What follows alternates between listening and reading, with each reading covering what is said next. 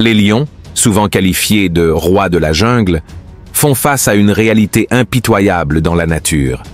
Bien qu'ils soient des prédateurs redoutables, leur survie peut être semée d'embûches, surtout lorsqu'ils sont blessés. Voici un aperçu plus détaillé de ce qui se passe lorsque ces majestueuses créatures sont blessées et comment elles luttent pour survivre. Nature prédatrice des lions et conflits. Les lions sont connus pour leur habileté à chasser de grandes proies, telles que les buffles. Cependant, ces chasses peuvent être dangereuses. Par exemple, lorsqu'un lion cible un veau de buffle, les adultes, et surtout les mères protectrices, ripostent souvent avec vigueur. Un lion blessé peut se retrouver dans une situation désespérée, particulièrement s'il est en infériorité numérique ou pris par surprise. Les affrontements avec les buffles. Les buffles sont des animaux puissants, dotés de cornes acérées, pouvant infliger des blessures graves. Des CA documentés montrent des buffles infligeant de sévères blessures aux lions en défense.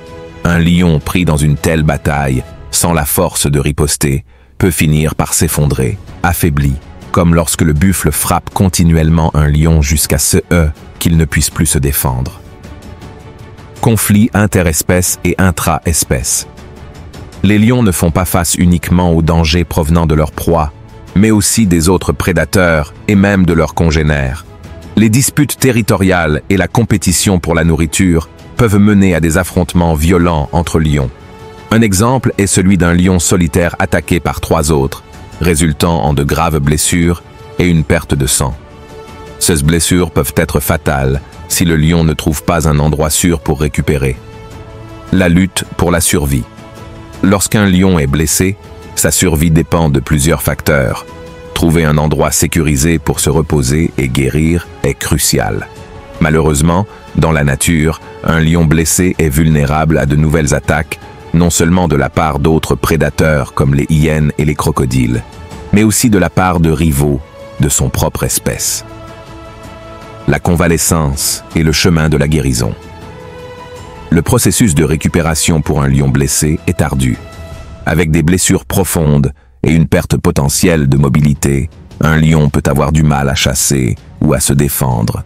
Les descriptions des vidéos montrent divers cas où les lions, après avoir été blessés lors de combats avec des proies ou des rivaux, doivent naviguer prudemment dans leur environnement. Leur capacité à se rétablir dépend largement de la gravité de leurs blessures et de la disponibilité de nourriture et d'eau pendant cette période critique. Conclusion.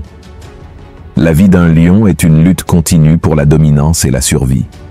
Lorsqu'ils sont blessés, ces prédateurs de premier rang doivent compter sur leur résilience et parfois sur leur chance pour survivre aux conditions impitoyables de la nature. Le monde naturel est impitoyable, et même le roi de la jungle doit avancer prudemment parmi les dangers omniprésents.